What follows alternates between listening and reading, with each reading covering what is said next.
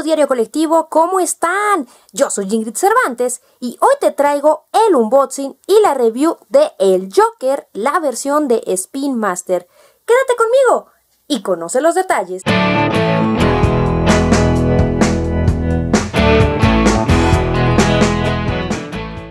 Bueno chicos, pues en esta ocasión les traigo la tan esperada y aclamada pues revisión y unboxing de la figura de el Joker de Spin Master.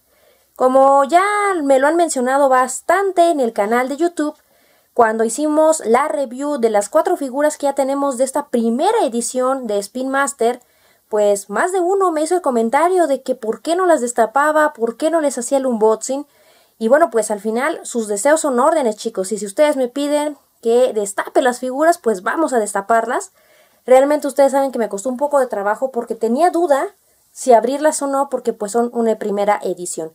Sin embargo, luego de mucho reflexionar, pues me di cuenta que realmente pues no las quiero vender ni a mediano ni a largo plazo, realmente las estoy coleccionando por gusto, por el simple y maravilloso placer de coleccionar. Y pues, ¿qué más da? Entonces vamos a destaparlas. Vida solo hay una y hay que vivirla. Entonces, pues, más que nada, quiero eh, que sepan que si ustedes me dicen que destape o quieren que traiga una figura, que la abra, pues ustedes mandan, ¿vale? Así que sin más rollo, pasemos a ver esta nueva figura. Como pueden ver, esta es una versión del Joker bastante estilizada con respecto al diseño de la cara. Aquí arriba podemos ver el logo de DC. Ahí, ahí está. Y bueno, ya vimos sobre el empaque, hemos hablado bastante sobre pues que estos empaques sirven bastante para hacer lucir la figura. Sin embargo, son muy poco, o al menos para mí han sido poco prácticos a la hora de sacar y meter a la figura. Sin embargo, pues no dejan de ser una gran propuesta y pues de tener una, una gran, gran oportunidad de Spin Master de mostrarnos una versión nueva y una propuesta diferente de Batman. En la parte de abajo podemos ver el logo de Batman, podemos ver el letrero del Joker y en la parte trasera tenemos este letrerito, tenemos el título del Joker, podemos ver la figura hasta arriba de la cintura, en una pose. Las figuras que tenemos disponibles, que ya podemos ver que son las tres versiones que tenemos de Batman, dos en negro, una en azul, a Robin, Joker y Harley Quinn. Y luego un montón de texto. Quiero hacer la aclaración, ya hicimos el unboxing de Robin y realmente el consejo que me dieron de destaparlas por abajo resultó bastante efectivo, bastante útil la verdad es que a mí me funcionó bastante, ya pude sacarla y volverla a meter y quedó intacta. Entonces, muchísimas gracias por el consejo. Y bueno, pues esta la vamos a destapar también por la parte de abajo para tratar de no dañar la parte de la burbuja, ¿vale? Y pues ya sin más rollo vamos a pasar a lo que ustedes tanto han esperado, que hagamos el unboxing, ¿vale? Vamos a destapar la figura. Y bueno, pues después de mucho batallar ya la pudimos destapar desde abajo como les había dicho. Solo que a diferencia de Robin, en esta no sé por qué, pero me costó más trabajo abrirla. De hecho, esta parte no salió volando, sino que se quedó pegada. Pero sí ya la pudimos destapar. Pero con el cúter, pues ella se me andaba pasando y vean, aquí le alcancé a cuartear y fue de ¡No! ¿Por qué? Ya llévame, Diosito, vean. Se me pasó el cúter. Y ya ven que soy bien tiquismiquis y fue de ¡No! ¿Por qué? Pero bueno, Creo que no se nota tanto. De hecho, si de lejos, pues ni se percibe, ¿verdad? Ahí dejen que enfoque. Ahí está. Digo, de lejos no se, no se nota. Pero pues ya ven cómo soy de tiquismiquis. Entonces, pues sí fue como de... ¡Ah! En fin. Pues ya, ya la tenemos por fin abierta. Así que vamos a destaparla.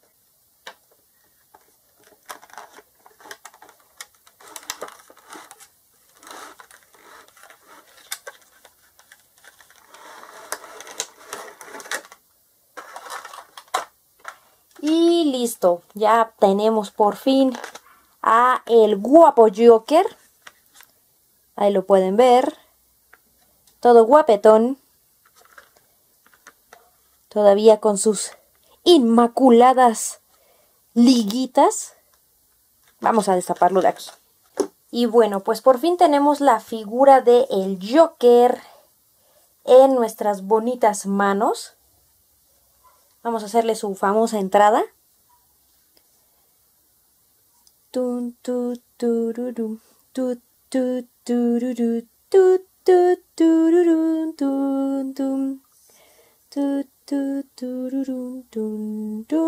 Como ven, de entrada creo que lo que más me ha gustado es que por fin esta figura tiene separación entre el color del traje y los zapatos. Estos sí son negros. Y aparte vean, están brillositos, pero bueno, no nos brinquemos partes y vamos por lo primero, la parte de la cara. Vean. ¡Qué cosa tan maravillosa! Vean, está de lujo los detalles de la cara. Me encanta y algo que sí quiero que noten junto conmigo es la impresión de los ojos. O sea, está que no te la crees. Vean, vean la impresión de los ojos, vean el detalle de la, de la boca, los dientes. Es una versión del Joker bastante padre, bastante elaborada. Vean las líneas de expresión en la frente. Está muy chido. Me encanta, por supuesto, el detalle del cabello. Vean, esto no. Aquí trae excesos de, plástico. Ahí, vean. Cosa que no, no me gusta. Robin también tenía este problema en la cara un poco pero no veo problema en la pintura de los oídos, como en el caso de Robin, ni tampoco en la cara. Vean, vean el mentón alargado. No manchen, está increíble esta figura. Me encanta el detalle de las rayas del cabello. Este relieve se ve y se siente padrísimo. Oigan, por cierto, ¿no se parece un poco al molde de Robin? A ver, vean, vamos a traerlo. Fíjense que, sí, de primera vista parecía que sí, pero no. Vean, en la parte de atrás, él como tiene el cabello un poco inclinado hacia la izquierda, y en el caso del Joker lo tiene hacia en medio. Entonces, no, no es el mismo molde de la cara. Bueno, más bien del cabello, que diga. Y vean, este trae el mechoncito en la frente, y en el caso de Robin, pues está todo peinado para atrás. Entonces, no, no es el cabello, no es el mismo, no es el mismo molde. Ay, no, estoy fascinada, me encantó el detalle de los dientes, la sonrisa. Ay, no, estoy súper enamorada de esta figura. Ahora, vamos a la parte de abajo. El cuerpo realmente no es tan detallado en el sentido de, pues no trae como tanto relieve, pero sí cuidaron muchísimo los detalles, fíjense. El traje es morado, la camisita es amarilla, el corbatín y el chaleco es verde. El detalle de la flor, que esto lo hemos visto desde el primer Joker de Mattel Unlimited, por aquí lo voy a dejar, está esta, constante de la flor en la solapa. Está bastante bien pintada.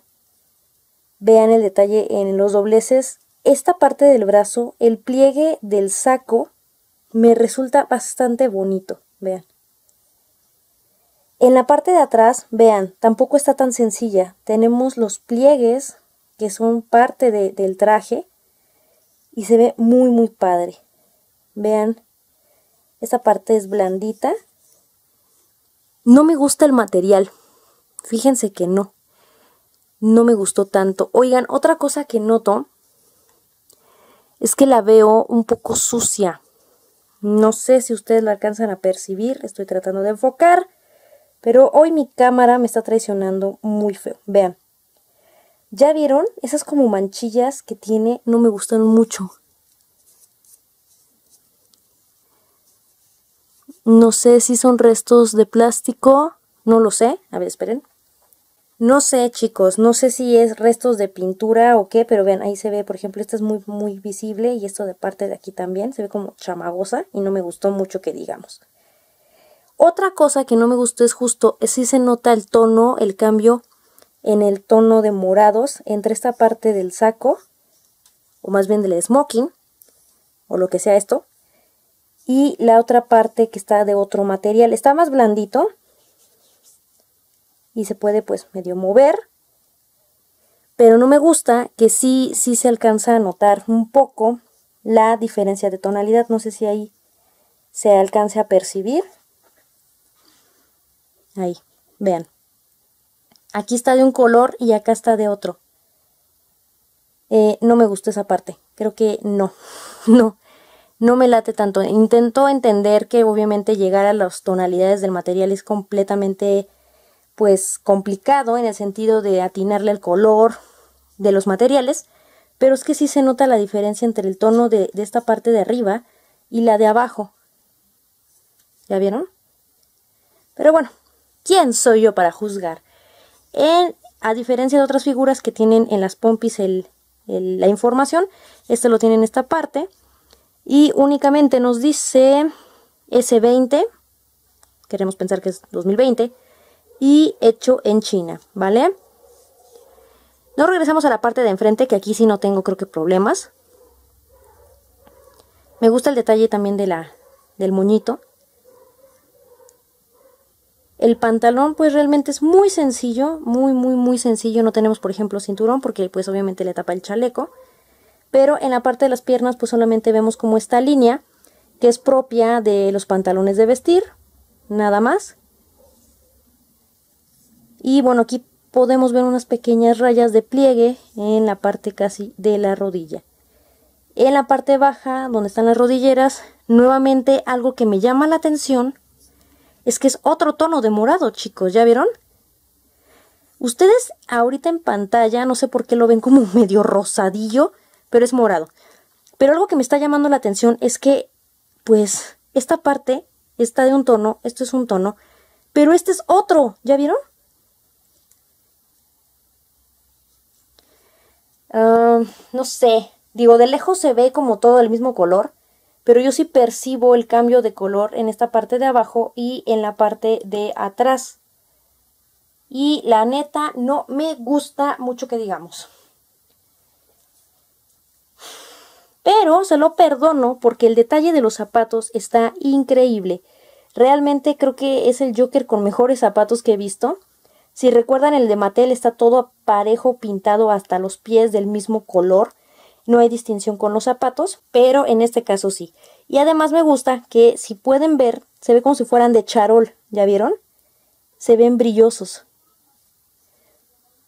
Vean, aquí tiene rayitas, tiene las tres rayitas como de las agujetas, como parte del zapato.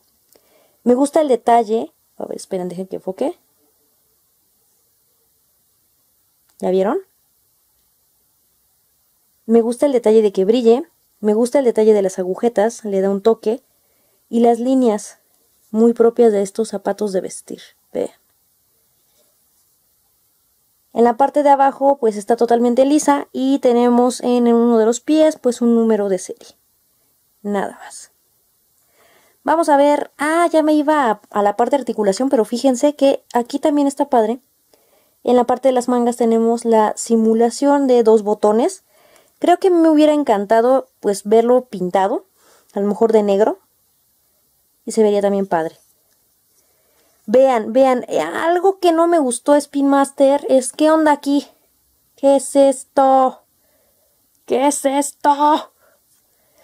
O sea, entiendo que llevabas prisa en enero por sacar las figuras ya, pero ¿qué onda? ¿Esto es error de pintura? A ver, trato de enfocar. Ahí está. Esto es error de pintura. Es el naranja de la flor. ¿Qué hace en el brazo? Esta parte de aquí se ve como sucia y no me gustó. Tenemos la espalda sucia. Y eso tampoco me gustó, vean. Tenemos esto de un color y esta de otro. Tampoco me gustó. Híjole, Spin Master, a diferencia del Robin, que solamente le vi errores en la parte de los oídos, aquí sí veo bastantes errores que pues Digo, al final también Mattel a lo largo de sus años tenía bastantes errorcillos, Pero pues para una figura que es un poco más cara, pues sí se espera un poco más de cuidado en la parte pues de la calidad, amigos. No sé si solo sea mi figura, platíquenme quién de ustedes tiene esta figura, quién ya la destapó y la tiene igual. Por favor, déjenme sus comentarios aquí abajo. Y bueno, antes de pasar a otra cosa, veamos el detalle de las manos. Realmente es muy sencillo, solamente hay una línea que pues aparenta o simula la parte del guante, pero pues realmente está muy muy sencilla. Y hasta ahí. Vamos a la parte de articulación. Podemos ver la parte de la cara.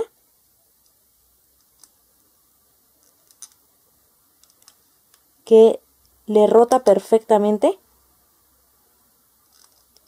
Vemos un poco más, a diferencia de la otra figura de Robin y la de Batman, pues sí vemos un poquito de movimiento hacia arriba y hacia abajo. No es mucho, pero bueno, es algo, ¿no? Ya es algo.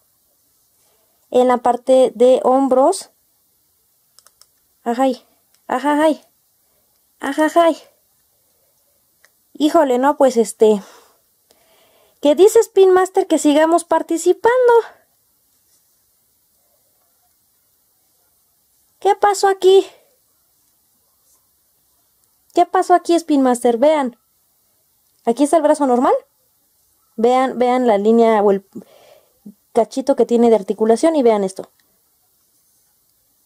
¿Es todo lo que da? No lo sé. Parece ser que sí porque tiene el tope muy, muy, muy limitado. Vean. Vean la parte de la articulación. Creo que sí está bastante, bastante limitada. Ya la traté de ver si se trababa, pero no. Está igual de ambos lados. Vean. O sea, realmente lo que logra abrir es una cosita de nada. Está aquí cerrado, estos son los brazos cerrados. Y vean, esto es todo lo que abre. ¿Qué onda? No, amigos, esto sí ya me preocupa. Me están preocupando tus valores, Spin Master. ¿Qué está pasando? O sea, entiendo que la parte del hombro pueda, pues llegue a un punto en que estorbe y no se pueda abrir tanto. Pero esto sí está muy cañón. Vean, esto es todo lo que abre el hombro y es algo que, mm, no sé, me está causando conflicto. En la parte de codo, ahí sí tenemos articulación en el codo. Ahí, ahí. Y podemos rotarle las muñecas, eso sí, están un poco más suaves pero las de las, los codos sí están más, más rígidas, lo cual se agradece. Pero Spin Master no te perdono el, hombro de Joker. ¿Cómo puedo tener un Joker rígido? Necesito que esté dinámico, fuerte, móvil, para poder hacer sus fechorías. ¿Qué más? En el caso de las piernas, pues vemos que tenemos adelante y... y pues si de por sí teníamos problemas de traseros, pues con este chunche ya de plano eh, pues está muy limitada la parte de movimiento hacia atrás y tenemos nada más movimiento como siempre en las rodillas. Ahí pueden ver la articulación. Tenemos uno, dos, tres. Tres clics ahí con la articulación de la rodilla. Ay, niños, pues como ven, realmente tengo sentimientos encontrados con esta figura con respecto a detalles, relieve, impresión de rostro, ojos. Realmente me gustó muchísimo. Sin embargo, sí tengo varios peros con respecto a calidad de articulación.